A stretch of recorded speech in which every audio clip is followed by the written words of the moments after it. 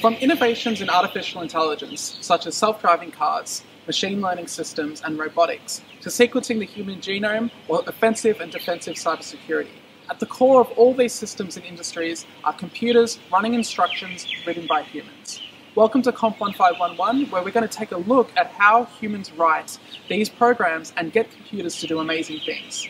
I'm Dr. Jake Renzella, and I'm leading a team of 30 to 35 amazing tutors that are going to be guiding and working with you throughout the next 10 weeks to get you programming. Whether you're an experienced programmer or someone who's never programmed a computer before, um, we're going to tailor this course to you and you're going to learn so much in the next 10 weeks.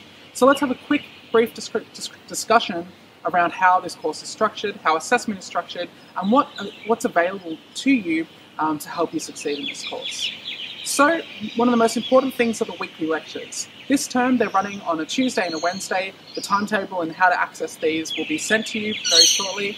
Please, if you can, do attend these lectures uh, in real time. We have multiple tutors that are paid to sit in the chat and actually answer questions and moderate the chat. So it's a really good opportunity that if you've got a question, um, you can get an answer in real time. If you can't make the lecture, that's okay. We do record um, both the chat and the lecture video itself and make that available to you to watch at a later date. We also have the Tute Labs. This is where you'll be paired with a tutor in a group of about 20 to 25 students and you'll do hands-on activities um, to facilitate you learning how to code, going through concepts, going through theory, um, and really getting your hands dirty on programming and getting one-to-one -one feedback from your tutor as you go through the Tute Lab. On top of that, we have things like the help sessions where you can drop in and get help one-to-one um, from an experienced tutor. We have the discussion forum, which I hope you've already posted your introduction post to already. On the forum, you can access at any time, post a question, and really quickly get a great response from a tutor um, and get you on your way programming. In terms of assessment, uh, we have the weekly labs that you'll do uh, each week. We have three assignments in the course. Don't stress too much about these we will be here to help you um, get through those assignments. And the first one's actually starting quite soon. And then, of course, finally, we have the final exam at the end of the course.